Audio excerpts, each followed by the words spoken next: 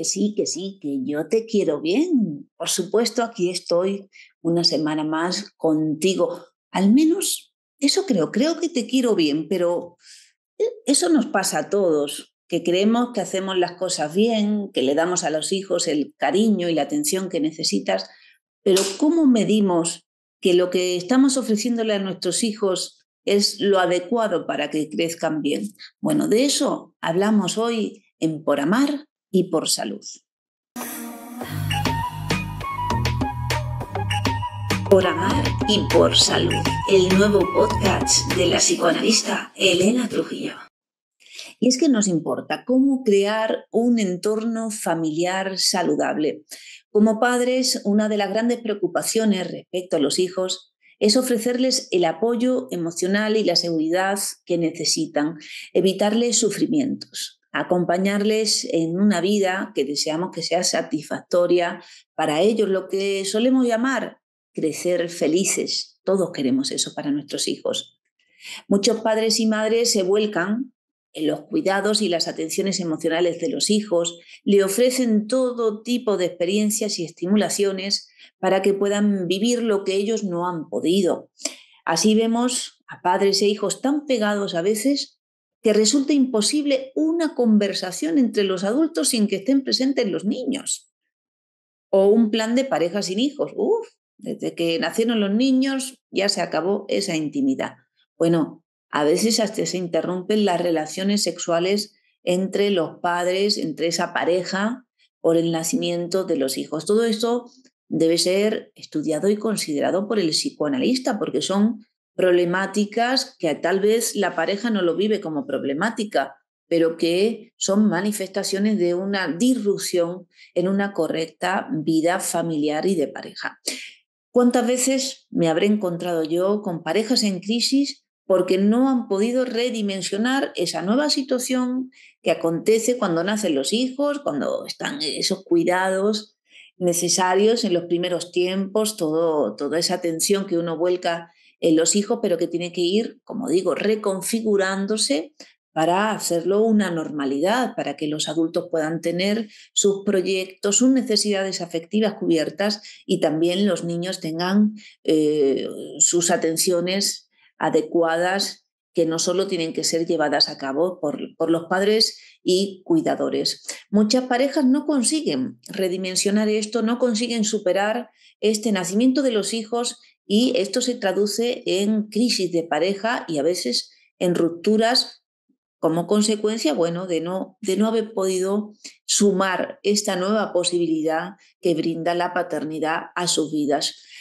Muchas parejas, hay que decirlo, consultan, nos consultan a los profesionales de terapia de pareja, los psicoanalistas, para intentar solventar esta situación de crisis y poder reencauzar una vida en pareja posible sin que sea necesaria esa ruptura. Sabemos que hay parejas que acaban rompiéndose, que si el amor no es lo que cimenta esos lazos, si no hay goce en esa relación de pareja, pues evidentemente no va a poder eh, mm, seguir adelante. Pero otras parejas consiguen modificar ciertas satisfacciones sustitutivas que encuentran en los hijos o que encuentran en esa venganza por no darle a la pareja esa, esa atención o ese deseo que, que, antes sí tenía y que acaba con los hijos. Esas interpretaciones que el psicoanalista realiza y que indica que no son los hijos los destinatarios de los deseos sexuales de los padres, ayuda a redimensionar en muchas parejas esta situación y a encauzar una vida en pareja satisfactoria. Los límites son importantes en la educación, por supuesto. Nos ponen los puntos sobre la silla y dice, hasta aquí, esto no se puede hacer más, eh, aquí mando yo, eh, aquí hay unas normas, bueno, ¿dónde poner los límites para querer bien a nuestros hijos y seguir teniendo un espacio para la vida en pareja y la vida individual? Hay personas a las que le cuesta esto de poner límites porque también les ha costado recibirlos, lo han valorado como una falta de amor, me dijeron que no y es porque no me quieren. Bueno, es egoísta impedir que los que los niños duerman con los padres, eh, es falta de amor, no dejarles tener ese espacio tan íntimo que comparten los papás y que, estén los niños ahí presentes, es egoísta hacerles dormir en otra habitación. Bueno, eh, es necesario tomar una cierta distancia con, con los niños, porque esa distancia existe, el desarrollo infantil tiene sus, sus necesidades y sus procesos que es diferente al desarrollo y a la vida de los adultos que ya han atravesado anteriormente ese proceso infantil. Entonces es obvio y necesario que haya una distancia, que haya una diferenciación y una discriminación de las necesidades entre unos y otros. Los niños están en su propio proceso de desarrollo eh, y otros el de los adultos. Los adultos, los padres, tienen que ir conociendo, ir adaptándose, y moldeando eh, sus exigencias según el periodo de desarrollo de los niños y también entender que ellos mismos tienen necesidades y exigencias diferentes. Entonces, e, esa discriminación no es injusta, es justa y es necesaria, primero, para no pedirles a los niños que sean adultos, porque todavía no lo son, y para que los adultos no se comporten o no sean niños, no vuelvan a, eh, realizar comportamientos que ya no son esperados para los adultos. Es decir, que hay criterios que el adulto tiene que llevar adelante, aunque eh, no le gustara que se lo aplicaran cuando era niño. Hay muchos padres que se bañan con sus hijos, que hablan delante de los hijos conversaciones que son de adulto, que son de la pareja, que mantienen incluso relaciones sexuales en presencia de los hijos. No, no se enteran, son muy pequeños. Bueno, esto ya se ha demostrado que tiene efectos perniciosos negativos en la vida de los niños, en su desarrollo, pero también tiene efectos negativos en la vida de esa pareja. Son perversiones. Por tanto, deben ser modificadas y corregidas los efectos no son conscientes, uno conscientemente pues cree que no está haciendo un mal, pero está haciendo un mal que luego los psicoanalistas vamos a tener que trabajar con esa persona, pero ya cuando se instalan los trastornos. Entonces vamos a situarnos en, en una prevención, en una situación de profilaxis familiar para evitar esa aparición de trastornos en los adultos y en los niños. ¿Cuándo debemos buscar ayuda profesional? Para que haya esa buena armonía en la familia. Bueno, los niños sabemos que aún no pueden discriminar lo placentero de lo que es conveniente, que ellos están regidos por la inmediatez, por sus caprichos, por sus deseos inmediatos, y que a veces esa inmediatez, esos caprichos, esos deseos inmediatos son inconvenientes para su desarrollo o a veces son peligrosos, que los adultos estamos con los niños cuidándolos, protegiéndolos de sus propias tendencias que desconocen los peligros de la vida y que desconocen también las... Eh, y, no, no, tienen en cuenta las, las, estructuras y valores morales que la sociedad ha establecido para la convivencia. Los adultos tenemos la responsabilidad de actuar como mediadores y transmisores de una serie de valores que permitan que el niño pueda incorporarse a la sociedad y pueda discriminar lo que es la vida íntima de la vida social. Entonces, bueno, eh, nuestro trabajo como profesionales es ayudar a los padres que no saben discriminar su función de, esa inmediatez, de esa pasión eh, de los hijos, que no saben discriminar eso, que eh, tienden a volcar sus propias necesidades afectivas en los niños y eso tiene consecuencias. Bueno, nuestra labor como profesionales es ayudarles a establecer límites, ayudarles a mediar en ese proceso de crecimiento de los niños, que no tiene que ver tanto como estar todo el tiempo diciendo que no, que no, que no, que no, esto no se puede hacer, sino evitar que los niños se hagan daño, evitar que los niños eh, pongan en peligro su vida eh, y permitirles que vayan descubriendo y dándose cuenta de que existe una vida privada, una vida familiar, una vida íntima y una vida social donde las reglas son diferentes, que existe una discriminación entre lo que se puede hacer entre, entre los niños y lo que se puede hacer con los adultos. Esa discriminación les va a ir ayudando a conformar su, propia vida afectiva y emocional. Si a ti que estás escuchando este podcast, ¿te gustaría profundizar en cómo mejorar esta convivencia familiar, cómo ayudar a que tus hijos crezcan mejor, cómo ayudarte a ti a estar más satisfecho, satisfecha con tu función eh, como padre de familia, como madre de familia y también como pareja, cómo conseguir eh, las satisfacciones que necesitas en tu pareja y también tu vida íntima, tu vida fuera de, ese entorno de, pareja o de familia, bueno, nosotros podemos ayudarte en nuestro espacio de terapia de pareja y de familia, si, si, así lo precisas. Los niños necesitan de los adultos y para los adultos también colaborar en el crecimiento y la educación de los niños supone una gran satisfacción y también una fuente de, mucha alegría, ¿no? Pero nosotros estamos para ayudarles, acompañarles a los niños en ese proceso de desarrollo de sus mm, capacidades psicosexuales, de sus capacidades afectivas, de aportarles seguridad y de irles mostrando como un ejemplo posible aquello que ellos mismos pueden, eh, pueden asumir.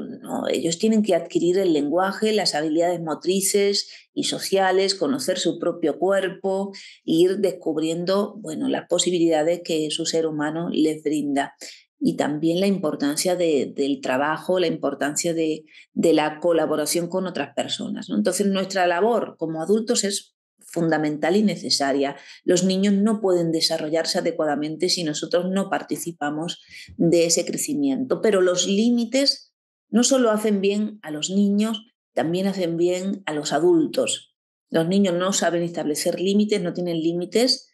Esos límites vienen marcados por el exterior es un aprendizaje necesario para sobrevivir y para la vida futura en, sociedad, pero algunos adultos que ya conocen los límites hacen como que no los respetan, se los saltan, le transmiten de alguna manera unos valores eh, anormales a sus hijos invaden la ingenuidad infantil con sus propias necesidades afectivas. Eh, lo que no encuentro con mi mamá, con mi papá, con, con mis amigos, con mi marido, lo, lo, quiero encontrar con mis hijos y le invado con todas mis necesidades, pero eso ocasiona problemas en los chicos. Entonces no podemos satisfacer nuestras necesidades como adultos con los niños. Un niño o una niña no nace para satisfacer las carencias de sus padres, no nace para solventar los problemas que los adultos tienen con el amor, con el deseo, con la sexualidad. No, es, no son una barrera que se pueda poner en medio de la cama para evitar que los padres tengan relaciones sexuales. Cuando usamos así a los hijos, los estamos convirtiendo en enfermos. A la larga van a ser adultos enfermos. Las madres insatisfechas que utilizan a su hijo para apartarse de sus maridos pues están creando un problema a sus hijos y ellas no están tratando el problema que tienen con su propia sexualidad.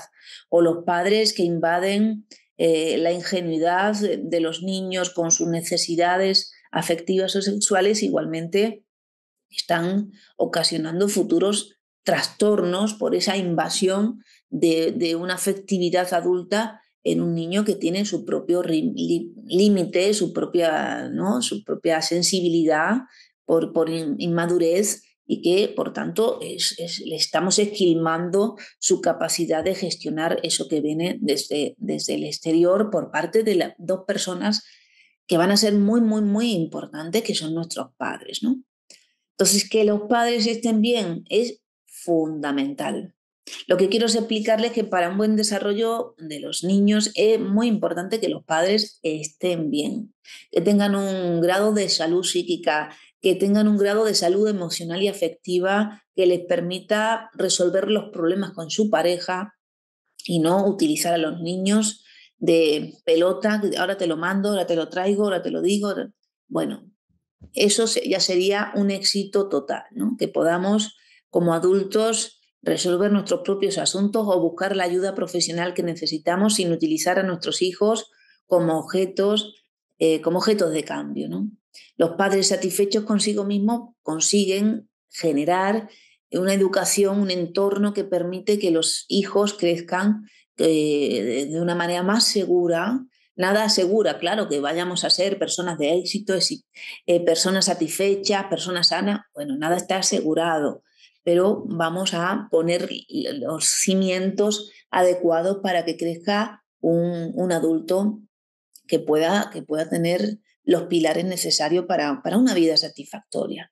Ya depende luego de ese joven o ese adulto que crece lo que haga con su vida, pero al menos que pongamos unos cimientos adecuados y que tengan un modelo de familia eh, adecuado, es decir, una familia donde haya alegría, donde haya satisfacción, donde no haya perversión de estas estructuras y estas mezclas entre adultos y, niños. ¿no? no molestar a los niños, dejarles crecer, los niños tienen que jugar, tienen que tener su propia convivencia entre niños, sus propias investigaciones, donde no tienen que intervenir los adultos o solamente para evitar, como digo, que se realice un daño sobre sí mismos, sobre otros. ¿no? Permitirles eh, explorar, permitirles la seguridad de, nuestro amor para que puedan venir a, contar con nosotros como padres y hablarnos para que nosotros también les podamos orientar. ese entorno de, no le voy a decir esto a mi padre porque se va a enfadar y me va a dejar de querer, ¿no? Bueno, esa linda convivencia familiar va a ser posible que también las personas que integran esa familia puedan desarrollar unas vidas más satisfactorias. Bueno, ¿es un mundo ideal? Eso lo tendremos que, ver. Hay personas que lo hacen posible y que lo consiguen, que establecen unos modelos de convivencia respetuosos con los niños y respetuosos también con los adultos. Entonces, como ya sabemos que hay ciertas tendencias perversas, inadecuadas, perniciosas sobre la vida de los niños y de los adultos, vamos a tener en cuenta eso que se ha descubierto, eso que nos indican los profesionales para no llevarlo a cabo, para tener las herramientas apropiadas para que esa casa, ese hogar que estamos construyendo no se nos venga abajo.